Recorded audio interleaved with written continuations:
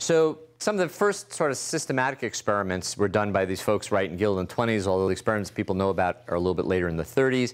They were trying to map this notion of wavelength to perceived color, right? So this is what I was telling you about before, whereas I change the wavelength, how much do you have to change the RGB in order for you to say uh, that they match? And they were allowed you to be able to say the two colors are more similar to each other through this process. And they defined what was called the CIE color space. CIE actually stands for Commission on Illumination or something in French, and that's why it's CIE. So the diagram they came up with here, this is called their XY chromaticity diagram.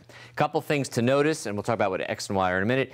These are the colors the, as the wavelengths go around, right? So you're getting longer and longer wavelengths, all right, and you get back to here. So the numbers around the, these blue numbers around the border, those are the wavelengths. And the middle is what you get by blending different colors. Now, what do we mean by blending? Well, what they figured out when they were looking at people computing, uh, playing with these RGB lights and other things was they came up with a new color space that wasn't just uh, RGB, but that it was going to be a linear transform of RGB, but that the prominent value was going to be called Y.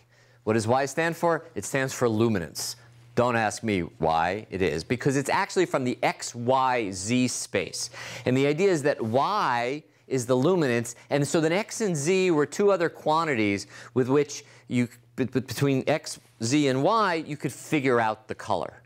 And you can represent a wide range of colors. And in fact, in this diagram that I was showing you before, you'll notice down here it says X and Y. Well, it was just this X normalized by the sum and y normalized by the sum.